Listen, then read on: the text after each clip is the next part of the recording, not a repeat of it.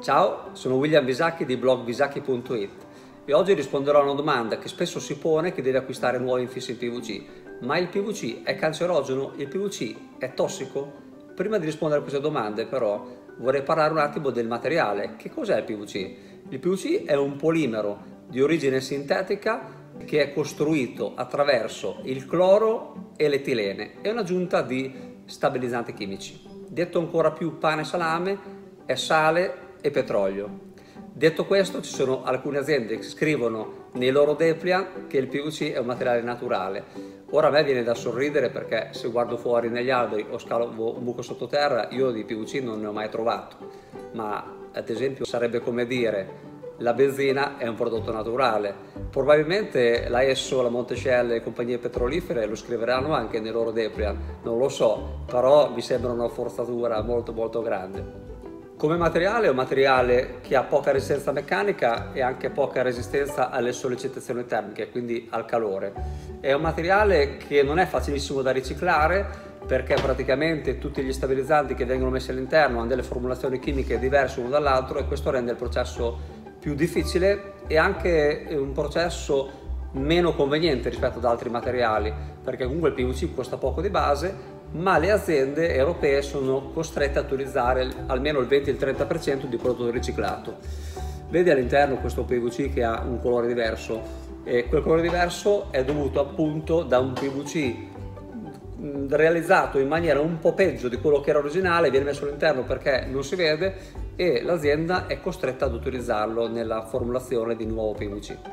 La domanda principale però è, il PVC è cancerogeno? Ci sono tantissime ricerche che dicono che il PVC è altamente cancerogeno. Ce ne sono tante altre che dicono che il PVC è assolutamente naturale. Il problema è che quest'ultime spesso sono finanziate dalle stesse aziende che producono la miscela di PVC. Ora non voglio farti l'elenco delle ricerche, se vuoi vai su wikipedia.it che è la fonte più autorevole che abbiamo sul web ed è anche gratuita e ti avviso però che ti potrei prendere abbastanza paura. Quello che voglio fare durante questo video è farti fare dei ragionamenti oggettivi e logici. Il primo punto su cui devi ragionare è ma già il fatto che ci poniamo questa domanda dovrebbe far pensare. Ad esempio, su una finestra in legno nessuno si chiederà mai se è cancerogena o non è cancerogena. Il secondo punto su cui devi ragionare è perché si sta facendo tutta questa guerra alla plastica? Tutti i paesi del mondo stanno lottando contro l'inquinamento derivante dalla plastica e non solo. Un motivo ci sarà. Un terzo ragionamento è che cosa stanno facendo in altri settori. Ad esempio l'Apple che produce telefoni ha eliminato il PVC dai propri telefoni almeno dall'iPhone 4 era ancora vivo Steve Jobs quando faceva la presentazione e si vantava che nel suo telefono non era presente PVC, arsenico, mercurio ed altre sostanze pericolose. Un altro punto su cui puoi ragionare è esistono altre aziende come la Nike, come Ikea, come la Kiko che fa i giochi per i bambini, che hanno aderito a un protocollo per cercare di eliminare il PVC dai loro prodotti. Trovi l'elenco completo nell'articolo nei commenti di questo video. Un'altra affermazione che gira molto riguardo al PVC è che il PVC è stato bandito in Germania. Ora voglio dire, cioè, la Germania è probabilmente il primo produttore mondiale di PVC. È mai possibile che bandiscono il PVC? Certo che non è possibile, ma quando c'è un'affermazione spesso c'è qualcosa di vero.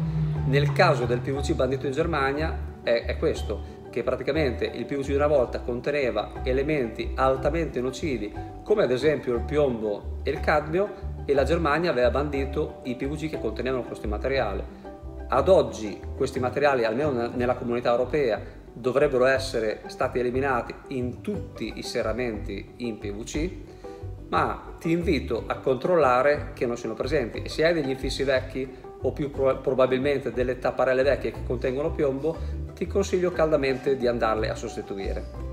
L'altra domanda che ci eravamo posti all'inizio è se il PVC è tossico. Parliamo di tossicità nel, nel momento in cui il PVC viene, viene, riscaldato ad esempio dalle fiamme durante un incendio. E tutti diranno il PVC è ignifugo. Sì, è vero, il PVC è un materiale ignifugo, ma questo non ha nulla a che vedere con la tossicità, perché ignifugo significa che il materiale non funge da combustibile, quindi non alimenta la, la fiamma.